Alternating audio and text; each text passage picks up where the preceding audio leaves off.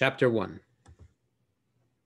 Tanya, we learned Besaif Perek Gimel de Nida in the third chapter of Gemara Nida. Mashabiyah before a soul is born, they make him swear, Tihit Tzaddik, be a righteous person.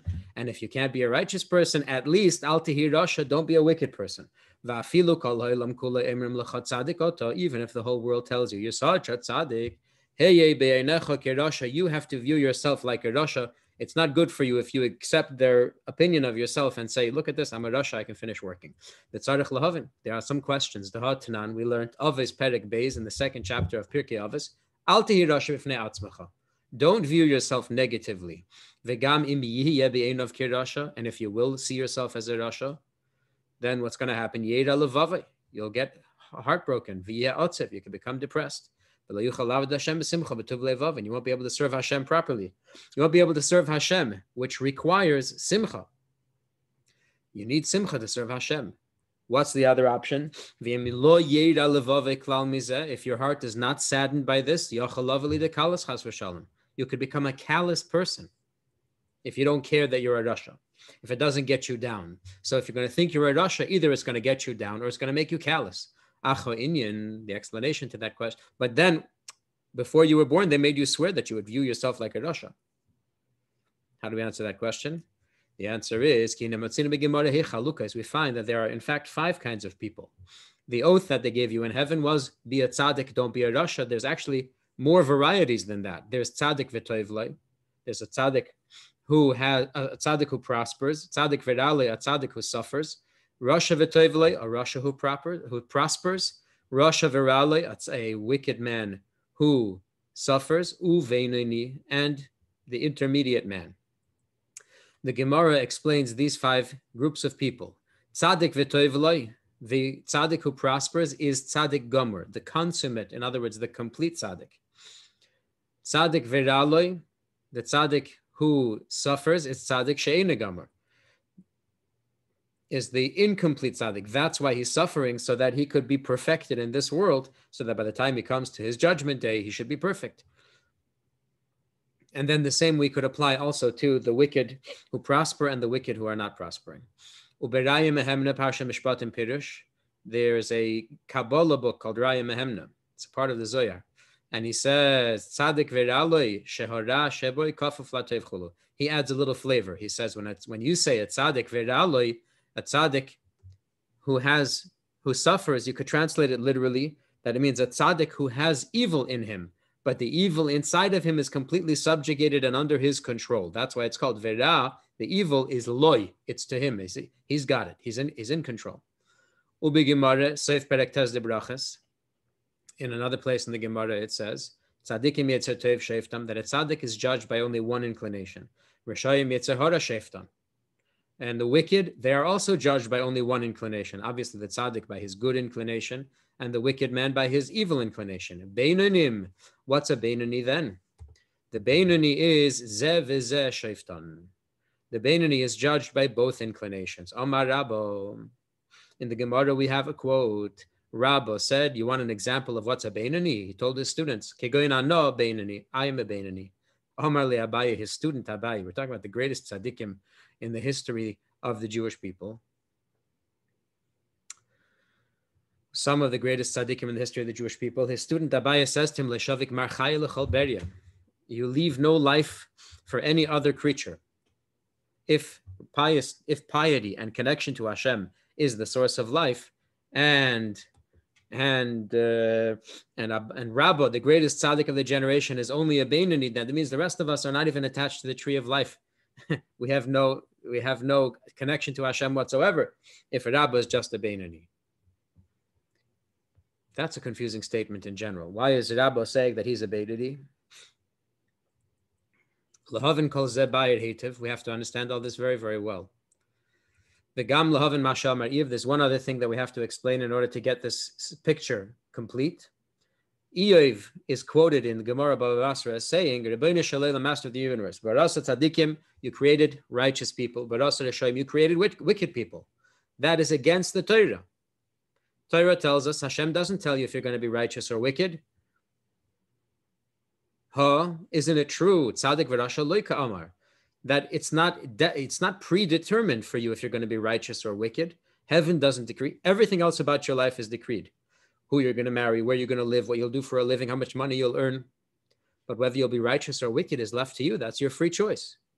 That's another thing we have to understand. It must be true. The Gemara shared it. But what does it mean?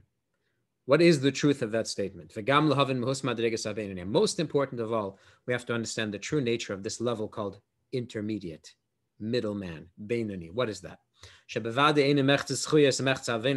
now we realize it cannot be a person who, as the Gemara described it, has half sinful behavior and half virtuous behavior. Because if it's half sinful behavior, Rabba could not have confused himself for this intermediate level, Beinani, because he didn't sin ever. The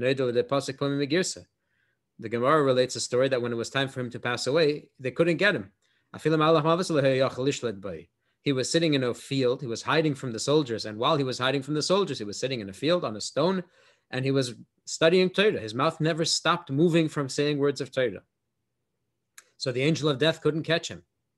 So he had to make a whole storm and make a disruption. Rabbah never sinned. How could Rabbah say that, uh, that he was a Bainani if Bainanis are half sinful behavior? It doesn't make sense. He could not have erred and said about himself that he was half sinful behavior. There's another reason. When when can a person? There's another thing. When can a person?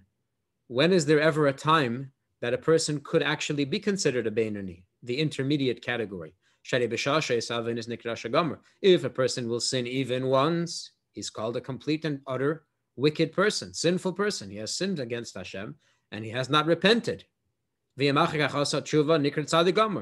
he did go and repent, well, now he's completely righteous because he has not sinned against Hashem. You want to say, well, maybe he did something not so important. There's no such thing as not so important. It says in the Gemara very clearly, in the Gemara Yavamis, in the Gemara in Nida, even a person that violates a minor prohibition of the Chachamim, of that the rabbis instituted, is called completely wicked. Even so, you say, well, maybe you didn't sin, maybe you saw somebody else sin and you didn't do anything about it. Also a certain level of wickedness, but maybe you're like intermediary because you didn't sin, but the other guy sinned. No, even somebody says the Gemara,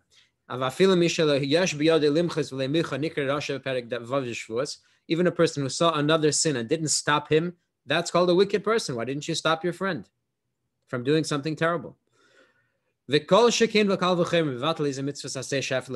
That's talking about people who transgress prohibitions of the Torah, that they're called wicked. Certainly, a person who had an opportunity to fulfill a mitzvah, to do something that God asks you to do, and you didn't do it, certainly that's a rasha. Like any person who has the ability to toil in Torah, he has time, he has it on his schedule, and he doesn't do it. The Chachamim apply a verse, a verse to describe the the uh, the terrible nature of that sin of of not doing something when you had an opportunity to do it. You have despised the word of God, and that soul shall be utterly cut off from the source of life not literally, but at least in a, in a description, to illustrate the severity of overlooking a mitzvah of the Torah. Pshita then, so then it's obvious that such a person would be considered wicked even more so than one who de- desecrated the, uh, the commands of the sages. Hang on a second now. So where's the Bainani? A, a righteous person is one who never sinned. A wicked person is a person who sinned even a little bit or even saw somebody else sin and didn't say anything, where is there room for a Bainani in here?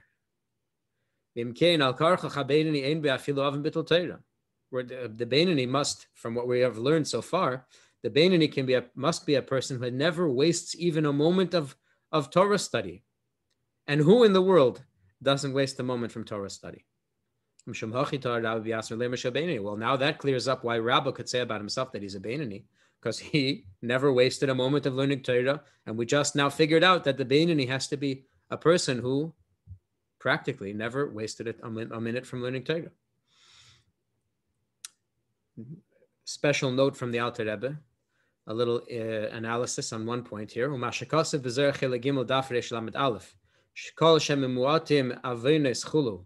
it says in Zohar that a person whose sins are few is called a righteous person. That means that you could be righteous even if you've sinned a little. That's not the that is not a decision. That's not a decisive statement. That was a question asked by one sage to the prophet Eliyahu.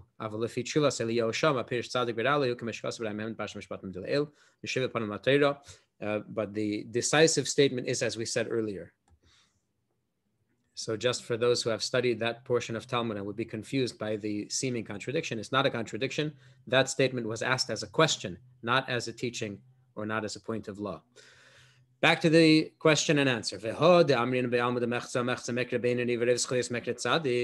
We just learned that the truly righteous person is one who's never sinned. Okay? And the person who sinned even a little is called a Rasha. Then we concluded, since Rabbah confused himself with a Rasha, with a Bainani, Rabbah said he's the intermediary level of Bainani. That means that the Bainani cannot even have ever sinned by transgressing or overlooking uh, even the smallest command or prohibition. That means the Bainani has no sinful behavior whatsoever. That seems to contradict a well known saying this well-known saying comes from it's reflected in Rambam and in Gemara on Rosh Hashanah. It says that if a person is half mitzvahs and half averas, that means half virtuous behavior and half sinful behavior, that's called a Bainani. That's called this intermediate level of Bainani. But if he has Roiv Zechuyos, if he has majority of his behavior is virtuous and only the minority of his behavior is sinful, that means he has some sins, but he's mostly doing the right thing. That's called a righteous person, a pious person. That contradicts what we said just before. Just before we said that the intermediate person cannot even have a single sin on his record. Certainly, then the pious person, the righteous person, should not have any sin on his record. We're back to the question what is this? What is the Gemara here saying? How can you describe a Bainani as a person that's half sinful and half virtuous? Says the Alter Rebbe, the author of Tanya, he says, Hushem Mushal. That's borrowed language. Describing judgment day, his reward and his punishment. Because the person will be judged after the majority of his behavior.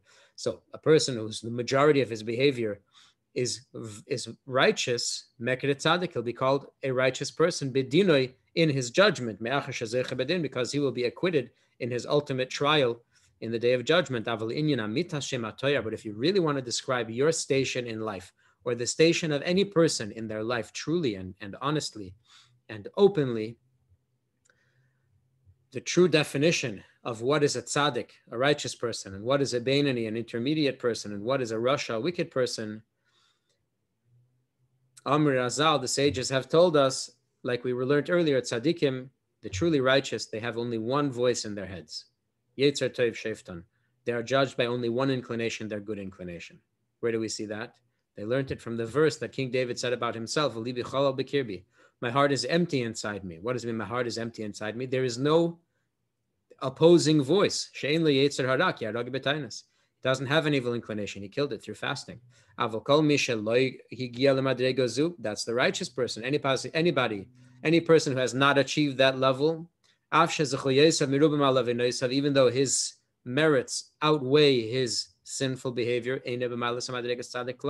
he is not on the level of a real tzaddik. And that's why the sages said in the Medrash, Hashem saw righteous people, meaning truly righteous people. So he spread them out through all the generations because the world doesn't exist without tzaddikim. As it says, the righteous are the foundation of the world. Without the righteous, the world doesn't stand. So now this is the question. What does it mean that Hashem has determined that you will be righteous and you will be wicked? What does it mean that Hashem makes you swear that you will be righteous and you won't be wicked? What does it mean Hashem wants you to view yourself like a wicked person? What does it mean that there's such a thing as a Bainani, an intermediate person who has no sin, but is not a righteous person, is not in the category of tzaddik. To understand all of this, we have to understand all the details of the inner workings of the human soul and the world that we occupy spiritually and physically, meaning the inner workings of the spiritual parts of the world, the inner workings of the physical parts of the world, which are also spiritual. The inner workings are always spiritual. And that's what the Alter Rebbe will give us now for the next eight chapters. First, he'll describe to us ourselves. Then he will describe to us the playing field, the field of battle. Ha'inyan. The explanation is like this. According to what is explained in Kabbalah, that every single Jewish person, echad tzaddik, whether they be righteous, the echad rasha, whether they be wicked, yashtei neshamis, they have two souls. Uchsiv, as it says in the verse, uneshamis ani osisi. That verse opens with the word ruach in the singular, but then goes on to say nishamis, souls in the plural implying that to each human spirit there are two souls. Shein nefashes, meaning two life forces, nefesh achas mitzad klipa v'sitra achra, one life force from the klipa and sitra achra. Klipa means, we'll, we'll just, we'll, we'll borrow the term peel, husk of creation, meaning the dark, the concealment, the part that hides godliness. Sitra achra means the opposition, the opposition to godliness and we have one soul that comes from that team, from the opposition team. What's the function of it? Why do we have it? Well, that's the soul in charge of the bodily function of the human being. As it says, er that the soul of the flesh is in the blood. That is describing the soul that is from the husk, from the from the created world. That's a very important soul. You can't live without it but it has some nasty side effects uh, because it everything in the world is made of four elements, and the four elements have a spiritual counterpart. That you have earth, water, air, wind, and fire. And from the unholy earth, water, wind, and fire of the bodily soul, we have some negative character traits, namely, the dehainu, kas v'gavim miseto anger and arrogance from the element of fire, whose nature is to rise upward. The appetite for pleasure from the element of water, because water is the source of all delightful things. It causes all delightful things to grow. So, in the soul and spirit of the human being, we have that characteristic of water, of the yearning for something delightful, something pleasurable. Frivolity, scoffing, boasting, and idle talk, emptiness from the element of air, which lacks substance. Atzlos v'atzvus mised ha'afar, laziness and depression from the element of earth, whose nature is to stay in the same place and to fall downwards. However, it's true that there are some negative side effects, but the bodily soul of the Jew is unique in that it comes from a certain parav, a certain uh, finer husk, a certain finer element of the creation that allows some divine, some divinity, some of God's godly influence to shine through, and therefore we have some naturally good characteristics as well. Uh, there is also good character traits inherent in every Jew's character, like for example, compassion and benevolence. They are natural to this Jewish bodily soul. For the Jewish people, that is a rule without exception uh, for the nations of the world, it's a big, big world, and some people have these uh, natural uh, traits, and other people don't. But for the Jewish people, it has a rule. Uh, Torah decreed that it is a rule, and if a, a, Jew doesn't have these character traits, you have to question their their their, their uh, lineage. Compassion and benevolence. What exactly is the nature of the Jewish bodily soul? It's from a klipa, from a husk called noiga which allows some light to shine through, which has some good in it. This husk happens to be the, uh, a pretty good blend of good and evil, whereas the true husk of the world is almost utter darkness and no goodness shines through it at all. So, because the mist, when Adam and Eve ate from the tree of knowledge and everything became a mixture of good and evil, this is a great representation of the mixture of good and evil, where it's darkness, it conceals godliness, but it also allows some goodness to shine through. Whereas there are those among the nations of the world whose soul is from the utter unclean klippas, where no goodness shines through them at all. That there are among the nations people who do goodness and it's only for their own sake. As the Gemara explains further on the Pasuk Chesed that kindness for those among the nations who have this kind of soul is a sin.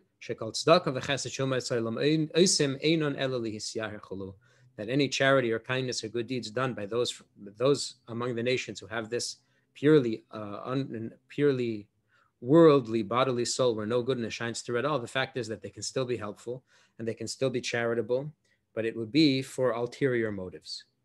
That's the first chapter what have we learned? We have learned that we have a bodily soul who has some negative character traits. Uh, we would call this bodily soul self preservation and the life of the body. However, that's not the end of the story. This is the second chapter. The second soul of the Jewish people, he chelik elikami mal mamish, is a veritable part of Hashem, literally as described in the verse that Hashem blew the breath of life into this into the nostrils of Adam. We pray every day and we say, Hashem, you blew my soul into me. So it doesn't only apply to Adam, it applies to all of us. What does it mean that he blew? What's the significance? One who blows, blows from deep inside of him. From his innermost and deepest strength. That when a person is blowing a balloon, for example, and he's blowing hard, he's expelling his essential life force in there. And that's why that's why when a person will blow from the depths, when a person is blowing hard, he can wipe himself out very quickly. But if he's blowing softly, he could blow for a long time. Or talking, he's expelling breath, but he could go on for a long time. There's another way to understand it. First of all, yeah, the Jewish soul is a piece of Hashem because it says Hashem blew the soul from the depths of himself, whereas the rest of creation, he spoke into existence. It's a different level of expression. The world, all of the creation comes from an exterior level, just speaking, which could go on forever and it doesn't really take all your energy, while the soul of the Jewish people comes from a deep blowing from a very deep place. And the, the lesson is easily understood. There's another way to describe the fact that the Jewish people are a veritable, they have a soul that's a veritable piece of Hashem. So too, allegorically, the Jewish people have ascended in Hashem's thoughts. As it says in the verse, the Jewish people are my firstborn son. You are a son to Hashem, your God. Pirush, that means, what's the message of the language of son, being a child of Hashem? just as the son comes from the DNA, the deepest matter of the, the deepest place of the father's physiology, so too the soul of every Jew is derived from Hashem's deepest physiology, so to speak, in a manner of speaking. We're borrowing human terms to describe something about Hashem. What is that deepest physiological place? Wisdom, thought. Why? Because Hashem is wise, but not with wisdom that we know. When we say the Jewish people, as the soul, is a part of Hashem's wisdom or rose up in Hashem's thought, we're talking about a level. Hashem's thought is one with Himself. Unlike a human being,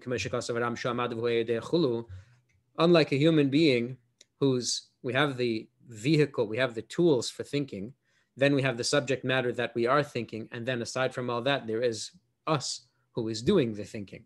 It's three separate things. Hashem, He is the thinker, He is the ability to think, and He is the thought. That's something that we're not really able to grasp because it's not in our experience. But when we say the soul of a Jew rose in Hashem's thoughts, that means that the soul of the Jew begins in Hashem Himself, in God Himself.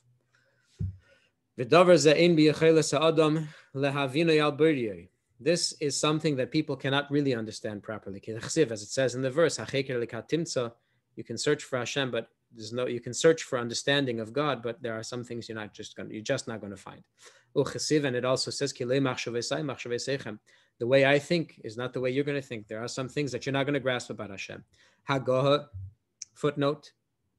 The Alter Rebbe points out that when we brought up this uh, teaching from Rambam, that God is the thinker, the thought, and the ability to think altogether, the Kabbalah agrees with him. Kabbalah does not always agree with Rambam. In this case, Kabbalah does agree with Rambam. Uh, the Gamlifi Kabbalah Sa'arizal Milsa, even according to the Arizal, uh, where it's unclear, but this seems to be the the uh, consensus. This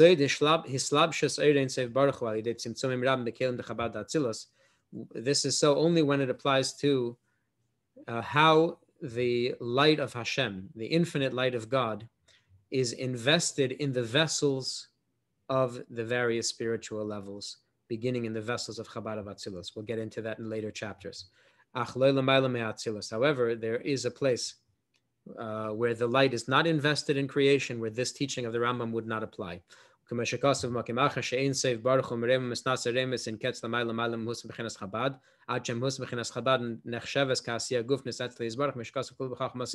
That's explained elsewhere that there is a there is a place in Hashem's process, in God's creative process, when even the highest of the levels that have emerged into into existence are considered very very lowly, and therefore it would be an insult to describe a lowly level as being God Himself or one with God.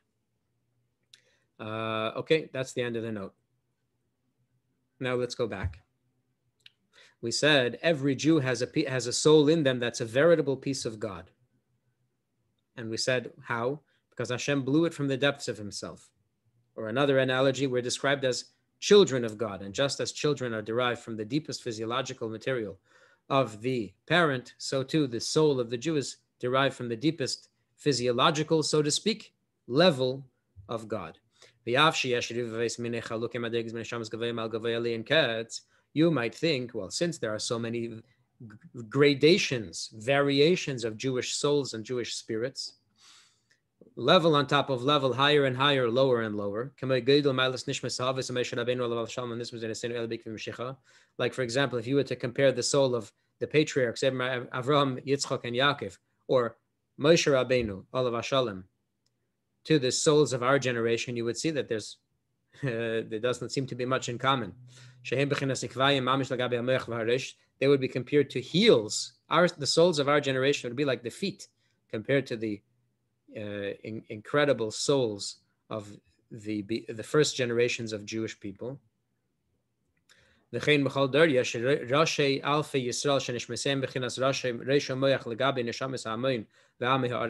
in each generation, there are those among us who are particularly inspired people because their souls are really high and strong. And then there are the simple people among us whose souls seem to be very detached, very uninspired.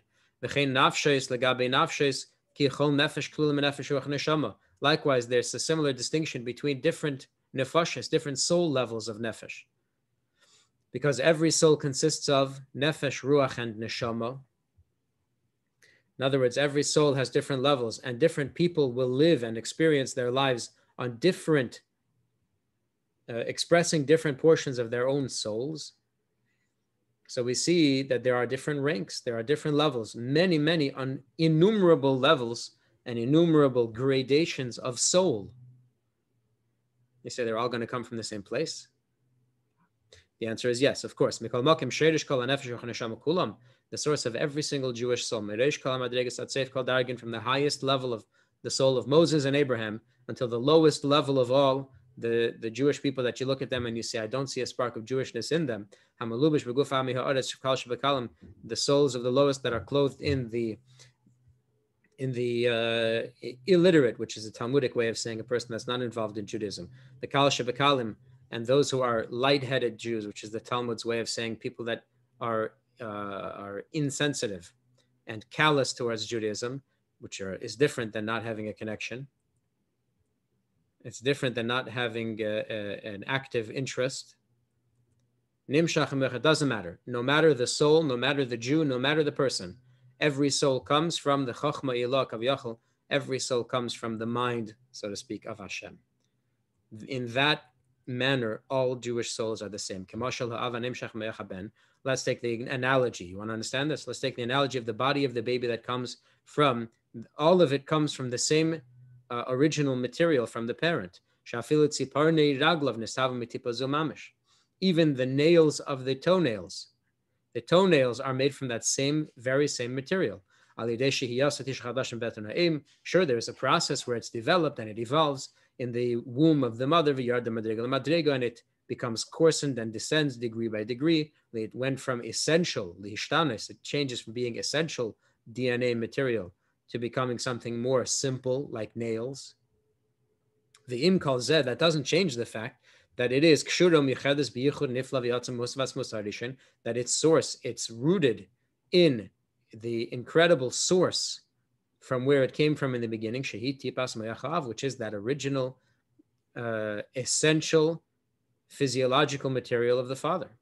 That doesn't change just because the final expression of it is toenails. It still comes from the same, the very same place that the brain of the child comes from. The gam achshav baben, even now while the child is alive and separated from his parents, meaning he's his own, he's his own person, the life force for the nails continues to flow through his mind, the baby's mind, uh, and that and that is because life of the child flows through the mind. It comes from the father's mind, essence, through the child's mind, essence, and the whole life of the of this child is attached to the essence of its body, which is attached to the essence of the parent's body. This is the Gemara. This is described in the Gemara there,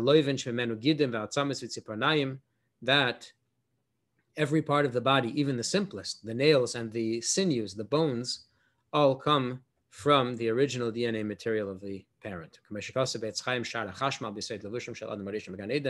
As explained in Kabbalah, that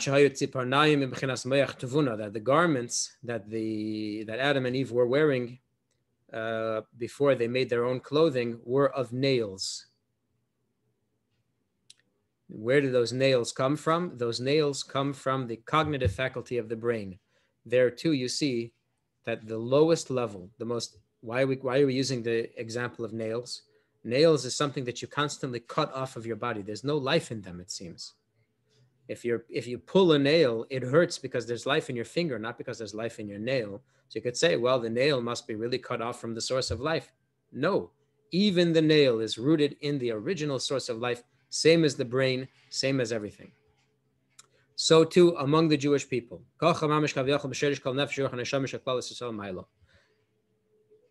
That no matter how the final expression of that soul is,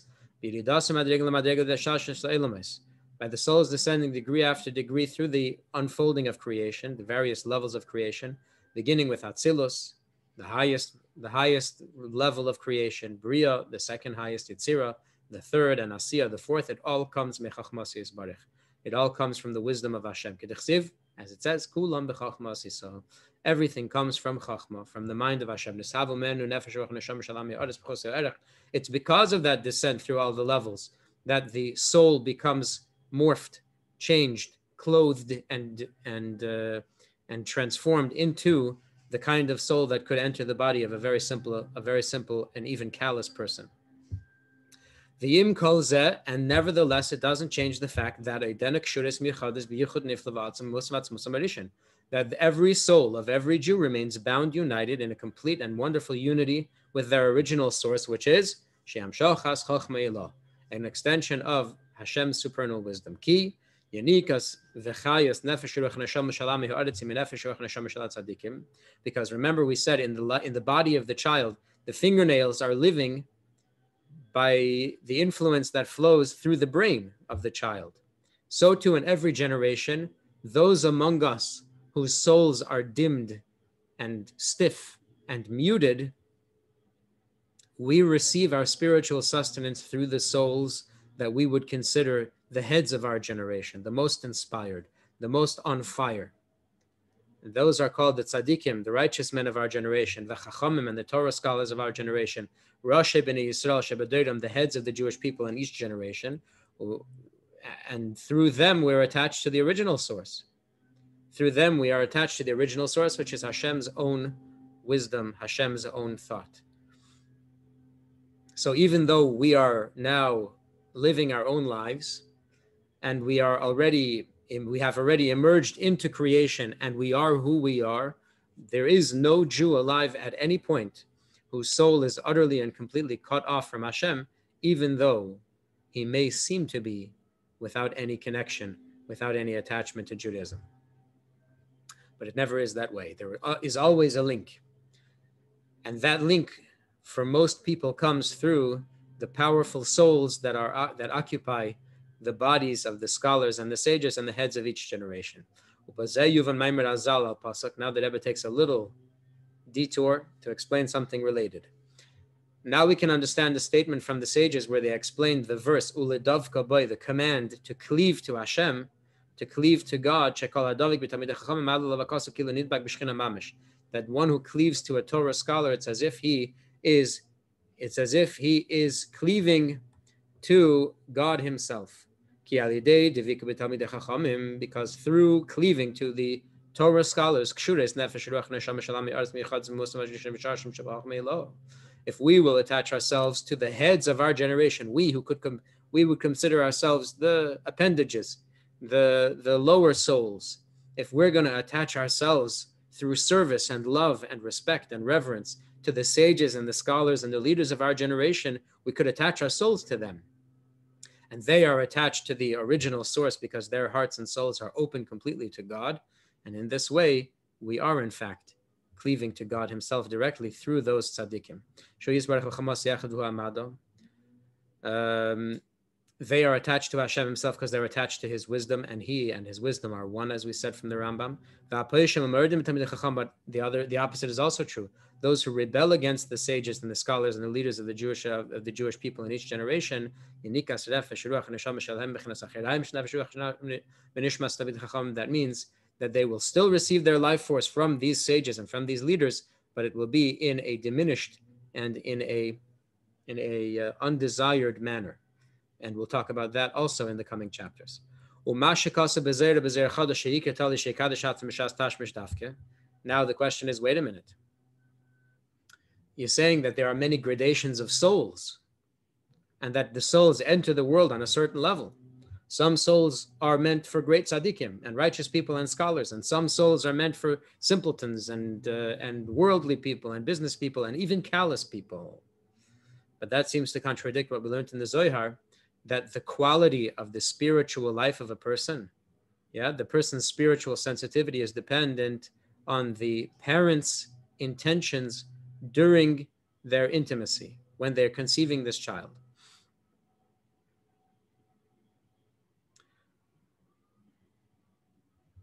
Which is not the case with the children of ignorant, eh, the ignorant people who do not conduct themselves properly during the work of conceiving a child. Says the Rebbe, it's not a contradiction.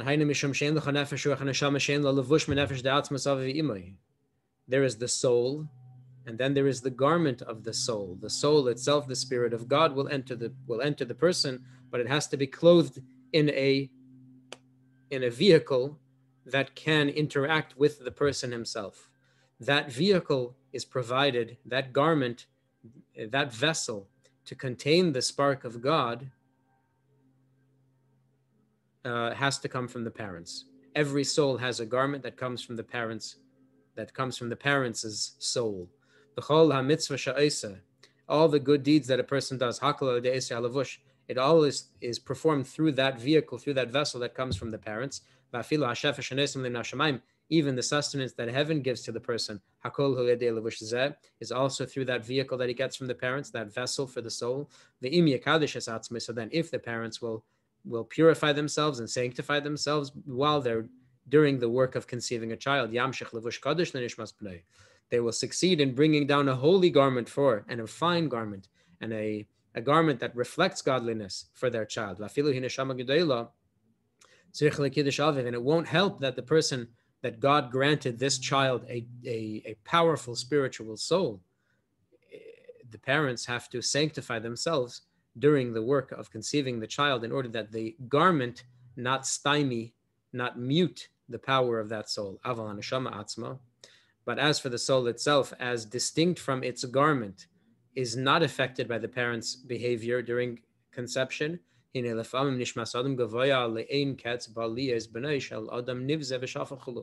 happens sometimes that a really powerful spiritual soul will enter the body of a really lowly person.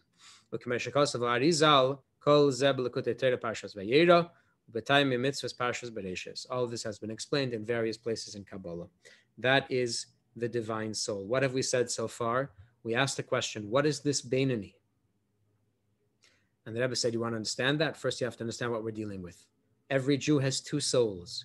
One soul is self oriented, it's the bodily soul. Then you have another soul that is a veritable piece of God. It is literally a piece of God, and every Jew has it. Let's learn more about that soul. Chapter 3 it doesn't matter what level of soul you have. Every level of every soul has 10 soul powers, 10 faculties. Why 10? Because we're created in the image of God. And God's creative process has 10 powers. Those 10 powers, which are called 10 sephiros, they're divided into two groups basically shehein shalish imais kfulais in the powers of god that god emanated. God created powers with which he manages his creation. There are three primary powers and there are seven secondary powers. What are the three primary and what are the seven secondary? Pirush that means chokhma bina das wisdom understanding and knowledge those are the primaries called mothers and the secondary ones are Shiva Simehabinyan, the seven days of the week, are chesed, kindness, gevura, might, tiferes, beauty, and so on. All the seven of them, and we'll go through them. Uh, we went through them uh, with my father in one of the introductory courses, which we will post on our YouTube channel. Benefesh ha'adam shenechalekes l'shtayim sechel So too, because we are created in the image of God, and God has those ten powers divided up into two general categories human beings also have 10 powers divided into two categories intellect and emotions. The intellect also, like Hashem, it includes three parts wisdom, understanding, and knowledge. And the emotions of a person, we're talking about the divine soul's emotions. The divine soul's emotions are to love Hashem, to fear Hashem, to revere Hashem, to beautify Hashem, and so on. Notice the soul's emotions are all about God. Everything of the godly soul is about God. The Chabad Nikru Imais, in both instances, both in the case of the divine powers and the soul powers, they're both called, the intellectual powers are called the primaries or the mothers, uh, because they are the source, for the emotions. They are the source for the emotions, because emotions are the product of a person's intellect. Let's understand that now for a minute because the intellectual faculty of the rational soul, the rational soul means the, the intellectual qualities within the soul. Shehu hamaskil kol davar, that's a person's ability to conceive any subject, to understand any subject. Nikra b'shem chachma. This, the ability to perceive something, to come up with a new idea is called chachma, koyach ma, the potential of what is. That's interesting. Why does the pursuit of knowledge begin with the ability of what is.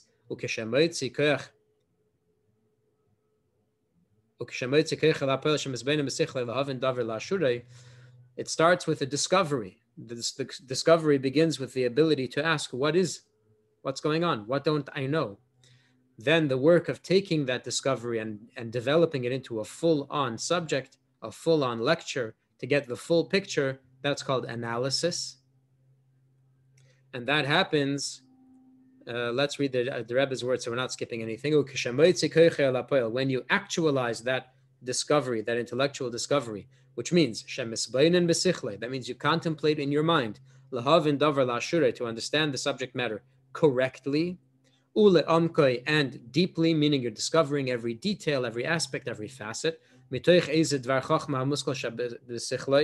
it evolves from the concept which you have discovered in your intellect, that process of discovering, that process of analysis, that's called bina. So far, we have two. Chachma is the ability to say, "Tell me something I don't know," to discover something new. Bina is the ability to analyze that new idea and really flesh it out and see it for what it really is truly.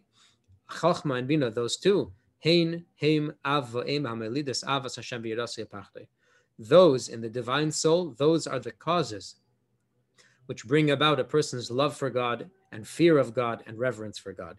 Because it's the intellect of the soul. When a person is delving deeply into matters about Hashem's greatness, how God fills all space, but really at the same time, He transcends all space, all things, and how everything that we deem so impressive, big, and beautiful is really, compared to Hashem, is, is as naught. This will inspire a person to be truly moved to revere and to be impressed with the greatness of Hashem uh, in his mind and in his thoughts. To fear, revere, and hopefully to be ashamed in Hashem's presence, meaning the way you would be uh, intimidated, so to speak, not in a bad way, but in the best way. Uh, to be intimidated in the presence of somebody that you adore and you revere and you consider very, very much greater than you, uh, because Hashem's greatness really, truly is. In law safety, the Hashem's greatness has no limit, it has no end. And that will bring about also, you see, knowledge, awareness of Hashem's greatness, deep thoughts about Hashem's greatness that take place in the mind and in the thought through discovery and analysis and discovery and analysis, repeating that process until you really have a good grasp of just how great Hashem might be. Not only will it lead you to the conclusion that you must revere Hashem, and that you must fear Hashem, but it may actually lead to a real, true feeling of fear of Hashem in your heart. When that happens, you will also love Hashem. Loving Hashem meaning you will learn, yearn, and desire and long for a connection to Hashem. The Gedula Saint Baruch for the to the greatness of Hashem. That's called the yearning of the soul, the consumption of the soul. As King David writes, the psalmist, whoever it was, says, My soul longs for you, and indeed it is consumed. It's consumed by the yearning to be close to Hashem. And it says also another verse, My soul thirsts for God. A yearning, a tremendous yearning. And it also says, My soul thirsts for you. This expression is a, descri- a description these expressions of thirsting, yearning, being consumed with, fainting from, this, this uh, love for Hashem is a description of the yearning and the thirst that the soul experiences when a person realizes the greatness of Hashem by studying it. That's Imoyn. This loving thirst for Hashem is derived from Yisayda Eshem Nefesh from the element of fire in the godly soul.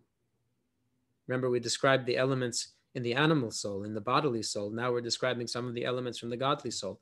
The element of fire in the divine soul is the source of the incredible, overwhelming, all consuming, passionate yearning for God, for a connection to Hashem that the godly soul experiences. The students of natural sciences, as well as Kabbalah, agree on this point that the element of fire is housed in the heart whereas the source of the element of water and moisture is in the brain. What is the element of water in the godly soul? That is the pursuit of wisdom and knowledge. Wisdom and knowledge of the, of the divine soul are the product of the element of water, because the moisture and the uh, and the the water, I don't know what it's called the uh, moisture um, is in the brain. Flowing, flowing, effluent. Um, why water? Why moisture? Because true delight, the highest delight, and water is reflected in delight and pleasure, is intellectual. For a human being, intellect is the greatest delight. And secondly, water is cold as opposed to passionate, dispassionate. And the mind is dispassionate while the heart is passionate. That's Chachma and Bina. We learned in depth now, the Alter Rebbe described in detail Chachma, the discovery process, Bina, and the analysis process, and how the two of them together give birth to all kinds of positive emotions. Ushar Hamidas Kulam, all the other emotions meaning we have described the development of reverence for Hashem and we've described the process or the development of love for Hashem, all the other uh, soul powers are offshoots and derivatives from this fear and this love, and they are derivatives of them. All this is explained elsewhere. The hadas, the third intellectual the third intellectual attribute, there's chachma, bina, and das. What's das? Das might even be the most important, but that comes also later in Tanya. The Alter will devote several chapters to that. Adam yoda es chava. The Torah tells us man knew chava. So what's das? Knowing, knowledge. That implies connection and attachment. What's attachment in terms of an intellectual project? Is to attach your mind strongly to a subject and to and to delve to fix your mind firmly on that on that study, uh, and you don't let it go and you don't avert your attention from it. And when we're talking about the divine soul, the subject matter is inevitably going to be Torah, mitzvahs, and the greatness of God. Okay, uh, let's read the Alter Rebbe's words. You attach your mind deeply and strongly. You affix your thoughts firmly Bigdula Saint Baruch in the greatness of the infinite one Hashem. Without removing or being distracted at all. Because even a person who has studied a lot about the greatness of Hashem, if he will not regularly and deeply and consistently attach his thoughts for uh, to that subject matter, his knowledge, his awareness of the greatness of Hashem is not going to be enough to bring about true emotions of love and reverence. Only momentary, mm, imaginary, temporary uh, inspirations, sparks of inspiration of love and reverence that don't stay with you and don't have any real effect on your behavior. And then, and that's why, as far as we're concerned, they're not real. The alkane, and therefore, hadas, this third intellectual piece, we had chokhmah, which is the discovery process. We had bina, which is the analysis process, and now we have das, that is the attachment process. Attaching yourself to the subject that you're studying, that das hu kiyum hamidas v'chayusan is really the real mother, is real, is really the power of, is this, is the staying power of any emotion. That's the power that sustains the emotions. This das, it comprises chesed and gvura, that means Pirish Avav Anafel, the year of Anafel, not only Chesed and Gvura, but Chesed and everything that that means it doesn't only uh, it doesn't only contain in it. The ability to love, but it contains in it the ability to love and everything associated with love, to be devoted, to sacrifice. And it contains in it also fear of Hashem and everything associated with fear of Hashem to be stubborn, to be, uh, what's the other word? Uh, persistent.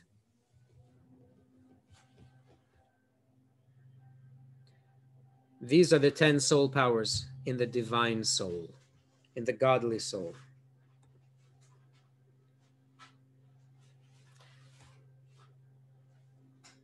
In addition to 10 soul powers, there are also three garments, three vehicles of expression. I guess we'll have to jump into those, God willing, next week at 11 a.m. And because of the nature of the project that we are in middle of, we are going to start immediately at 11 a.m. And um, I will post these recordings on our YouTube channel for review. And I thank you each for joining us this morning and taking some time out of your day to learn the Holy Tanya.